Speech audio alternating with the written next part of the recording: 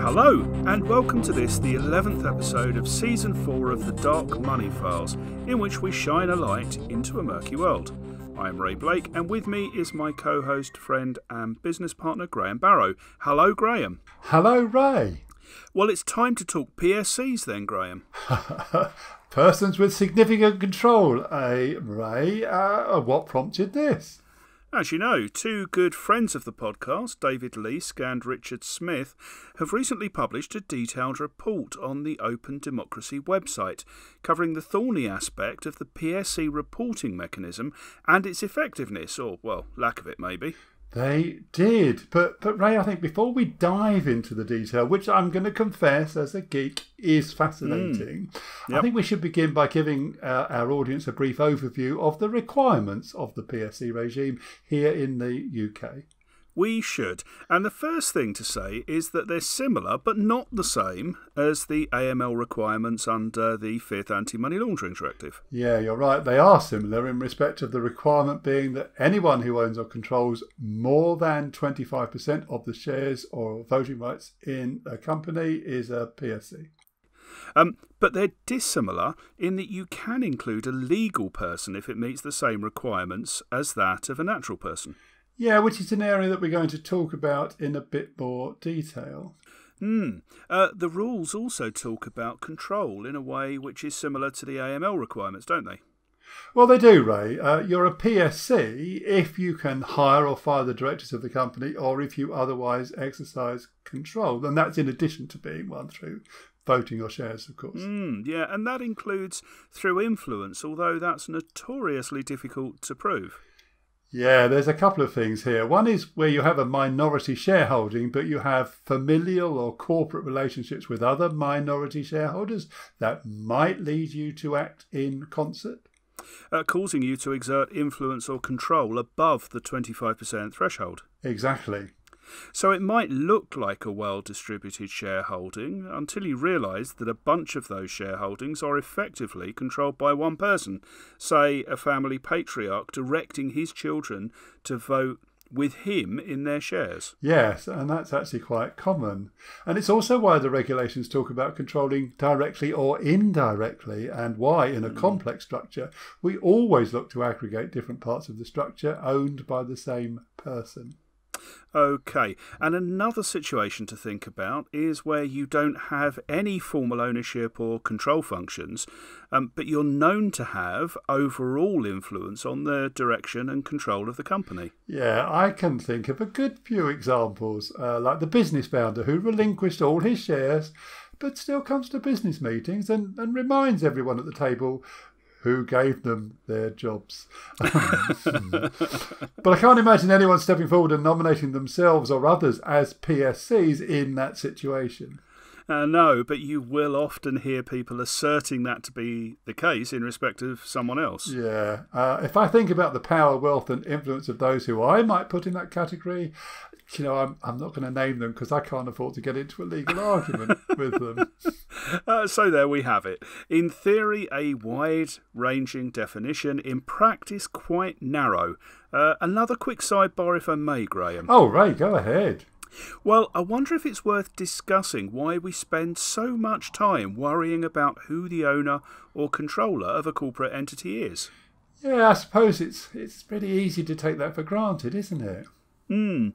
Uh, and it does need to be understood, I think, for people to go to the lengths they sometimes have to in order to complete this aspect of the due diligence. Right then, so as we know, the FATF, the Financial Action Task Force regulations, and the entire basis of modern AML regulations was initially aimed at damaging the illicit drugs trade. The idea was to hit the distributors in their pockets and make it difficult, if not impossible, to enjoy the profits from their trade.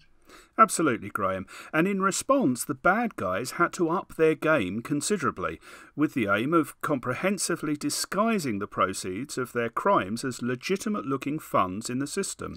Now, there were two aspects to this disguising the money and disguising the criminal. I don't mean mm. a fake wig and a, and a plastic nose. Um, disguising the Same money. stripy shirt, though, Graham. Oh, you can always tell a criminal by And the bag that says swag on their back. That's always a giveaway. Exactly. um, disguising the money meant hiding it in among uh, legitimate money uh, that, that then enters the system and then later extracting it to spend it or invest it. Yes, and disguising the criminal was just as important. That person had to be able to control the flow of his or her money, but didn't want his or her name associated with it while the processing was underway. Because if either the money looked criminal or his or her name came up, the good guys would seize the funds. Indeed, and so criminals needed to find more and more inventive ways to keep control, yet disappear from the records. And they found that corporate structures were a very good way to do that. And they still are. Uh, most types of corporate structure uh, take a person's name off the paperwork. The name of Pablo Escobar would make bells ring, but PE Export Services Inc. Not so much, Graham. No, and over the years, as the banks and law enforcement have become more sophisticated, so the corporate cloaking of individuals has become more sophisticated too. And whole industries have arisen in helping to exacerbate that. Mm. Uh, concealing the identity of the actor remains the most crucial piece of the money laundering puzzle, and so our due diligence always starts with identifying the beneficial owners and controllers of any entity who wants to be a client. Uh, yeah, and to have reliable control, you need to be able to own a good chunk of the entity. You can't do much with one out of a thousand shares. Uh, no, you can't, but nor do you necessarily need a majority. A sizable minority stake plus a close relationship with key managers would do. As would a minority holding with enough other shareholders in your pocket. So that's how we arrive at 25% being generally seen as the threshold. But to play devil's advocate here, Ray, this may make sense for companies no one has ever heard of, but do we always have to do the same for the household names? Well, not always, Graham. If they're listed on a stock market, for instance, that can be good enough sometimes, uh, but otherwise we need the full works. And that's often seen as overkill, though, isn't it? Well, yes, it is. But if you think about it, what better way to go up a league as a criminal than to be able to control a household name company and use it to launder your money? Uh, there are all sorts of ways to insert yourself into a commercial business, both legal and illegal. Yeah, if you have a lot of money, often people can't prevent you from buying shares and potentially launching a takeover bid. And the one thing the bad guys have, of course, is a lot of money. Uh, okay. So, uh, hopefully, that establishes why this is really important. And now, Ray, we should talk about all those reasons why a company wouldn't legally need to declare a PSC or why it might not appear on the register. Yes, the first one's quite straightforward, uh, and that's if no one owns or controls more than 25% of the equity or voting rights in the company. Yeah, it's a situation which is true for our, our own company here at the Dark Money Files, as we are composed of four equal shareholders of 25%. Thus, falling one share below the reporting threshold. But in our case, as in the majority, this is because we genuinely have four equal shareholders. Hmm. It can be hard to determine sometimes whether that diverse ownership is real or merely illusory to avoid reporting. Well, yes, it can. You'll remember, Ray, we did an episode some time back when we talked about a whole bunch of newly formed limited companies, mainly named after volcanoes, go figure, oh, which yeah. had four equal shareholders, two from the Grenadines and two from Grenada and there were 70 or 80 of them altogether, uh, which didn't seem entirely feasible. No, so that's the first one. Now, secondly, the company might still be determining all the information required to include the PSC details on the register. Uh, which is okay in the short term, Graham, but shouldn't still be the case after a year or two. Well, no, I agree. That's one which needs to be looked at in line with the age of the company. Hmm. Now, the next one, frankly, shouldn't really be necessary. This is where the company doesn't know if it has a PSC or not and is attempting to find out. Which, honestly, Ray, if it's a newly registered company, is a pretty strange thing. Yeah, it is. And if it's been around for a while, um, and that's still its PSC statement, it's verging on unbelievable, really. Well, not to know who is your owner or controller? Uh, yeah. and then there's uh, we know we have one, we're just not sure who it is. Uh, which frankly falls into the same bucket as the previous one. Especially if that's still the declaration following the introduction of the requirement back in 2016, four yeah. years ago. Yeah, although we should add that was 2017 if you're a Scottish limited partnership. Uh, makes all the difference, Graham. um, either way, three or four years is long enough to find out. And if they were formed since then? Well, I'm not entirely sure how you form a company without knowing who your owners or controllers are. But of course, there are a couple of situations where you do know who your PSC is, but mm-hmm. some or all of the information will not appear on the register. Yes, absolutely. I can almost hear our listeners shouting out Section 243 and 790ZF cases. Hold on. I think you're right, Ray. One or two may not, so I think you might need to explain. Uh, fine. Um, okay, then. Well, a 243 case is where a PSC, director or controller, can show that revealing their usual residential address might expose them or their families to potential physical or mental harm or abuse. Now, why might that be? Well, because they work in contentious industries, say, like pharmaceutical research involving testing on animals. Ah, I get it. So people who might be subjected to, shall we say, committed protesters? Well, that's one way of putting it, yes.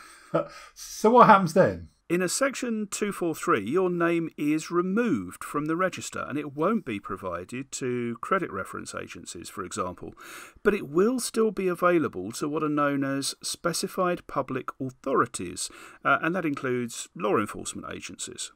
Okay, that makes sense. So, so what's a 790 ZF then? Well, that's one where all your personally identifiable information is withheld from the public register, although the register will show that it's been withheld on that basis. So, for example, if you're working closely, say, with the intelligence agencies or mm-hmm. other entities involved in national security. Well, that would be one example, yes.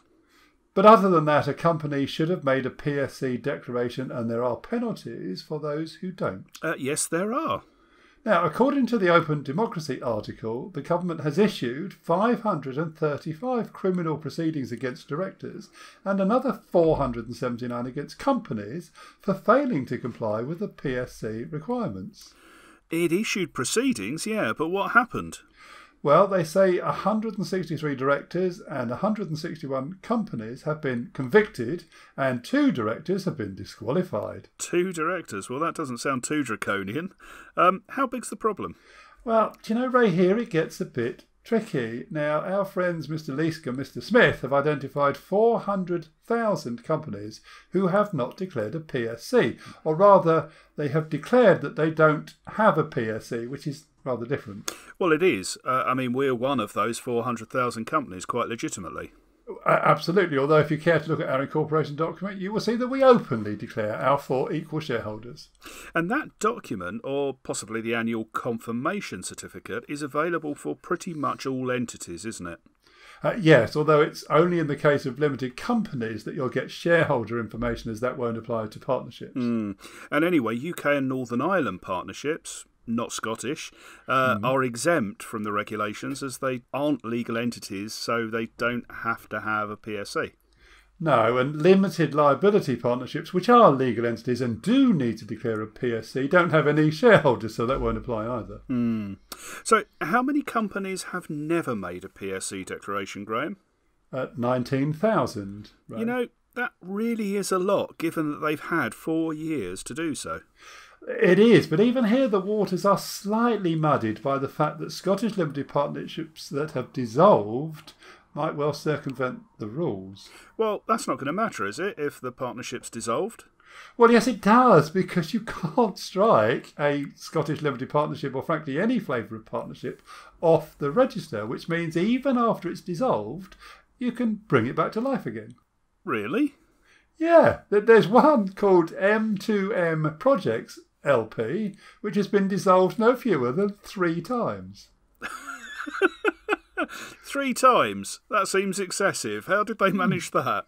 Well, on at least one occasion, according to the paperwork, they dissolved the partnership by mistake. or at least that's what the form says. Okay. Uh, you'd think that was quite a difficult thing to do, wouldn't you? Uh, fill in the form to dissolve your company and send it off to Companies House in error.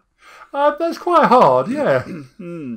and then there's the companies that declare a PSC, um, but which PSC doesn't meet the requirements. Yeah, now normally this is where they declare a company as a PSC, except the company's located in some offshore secrecy location, so definitely doesn't meet the transparency requirements, which are, quotes, an equivalent disclosure regime to that of the UK. Okay, so we're talking about quite a small number of um, jurisdictions and economies that that company has to live in then. Um, mm. Do we have any recent examples where that rule isn't met? Well, yes, right. I, have recently been having a little bit of fun monitoring the uh, fun in my world of monitoring mm-hmm. the registrations of new limited liability partnerships, which which have got connections to North and to West Africa. Yes, a whole host of new companies are being formed by people from Senegal, Togo, Guinea-Bissau, uh, Benin, and others. Yeah, but not just people, though, Ray. Well, indeed. I was working through one of the spreadsheets and spotted an LLP called Foodem Generation Group LLP, which has declared one of its PSCs to be Arts et Design, a private company incorporated in Cameroon. Mm, that definitely doesn't meet the PSC rules. And another very recent addition was Vantage Prime LLP, which has declared a Chinese national living in Australia which that, that fully meets the rules, right? It certainly does, no problem with that. Uh, alongside, though, a Belizean limited company um, incorporated as a Belize International Business Company. And that definitely doesn't. Mm. Uh, although, of course, any financial institution onboarding a UK entity that has faulty PSC information is now obliged to report it to Companies House assuming they were being onboarded to a UK financial institution, which I strongly expect these ones we've just mentioned were not. No, I tend to agree with you. Um, why is it that companies that clearly don't meet the rules are still routinely added to the PSC register, Graham? Well, Ray, it's simply because Companies House does not have the mandate to reject them. And that does seem odd, doesn't it? It does, and, and things were heading in the right direction following the consultation about the reform of Companies House last year. But I feel like many things, it's been derailed by the COVID 19 pandemic. And in the scheme of things, it's hard to argue for preferential treatment. Do you know, Ray, I think that is a conundrum we'll be up against a lot over the next few months and years. Indeed. Uh, so, what's next for us, Graham? Ray, we've just delivered our Dark Money Files live special on the Danske Bank story oh, and yeah. what all um, FIs should have learned and implemented as a result and we're thinking of doing it again in a more globally friendly time. So, so maybe next time we'll report back on how that went, the questions we were asked, and our replies to those questions, and and more. And by the time this goes out, uh, we'll also have delivered a live online session with Amy Bell of Teal Compliance, looking at the money laundering regs as they apply to lawyers and law firms, and comparing this with what the banks are doing. And then there's our new project building on the series of corporate investigations masterclasses in which we're turning our attention to CDD and EDD. Mm. Whew, all in all, it's pretty busy, but I think we'll be able to share some reflections on all of this in the next episode. I'm looking forward to it.